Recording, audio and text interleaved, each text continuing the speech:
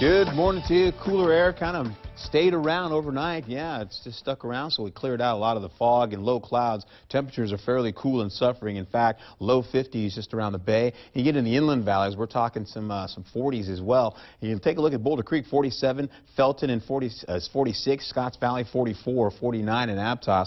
Yeah, so the cooler air is there. Rainfall is heading into Northern California. Haven't picked up anything measurable just yet, but just on the other side in Oregon, they're picking up at least a tenth of an inch. So slowly edging its way down. We'll see more of this come right back into the North Bay by uh, late morning, getting into a little bit more cloud cover for us here. We'll go to mostly cloudy conditions. Uh, eventually, you can see the clouds working their way in. About three quarters of an inch up expected for Northern California. And then you get into the Bay Area, they should get about a quarter of an inch to a half an inch or so. And then into the Santa Cruz Mountains, about 15 one hundredths of an inch. And of course, for the Monterey Peninsula, possibly a trace, maybe uh, a couple of hundredths of an inch. Nothing uh, really to write home about, but hey, we need whatever we can get, right? All right, so temperatures for you, mostly 60s, some 70s through the forecast area.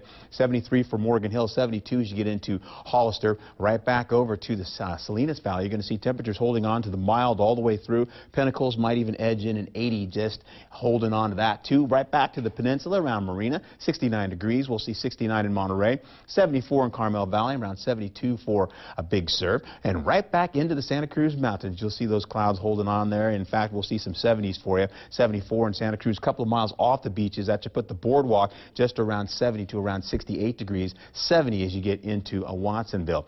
And for the next seven days, we are going to take those temperatures and ramp them up. Yeah, that's right. Thursday and Friday, those temperatures around locally will start to be above normal. As you get into the weekend, they go even further into the 90s. We'll see about 80 to 94 for Saturday and losing all that cloud cover as well. On the coast, we'll actually get into an increase, a warming trend for you as well. 80s up in Santa Cruz.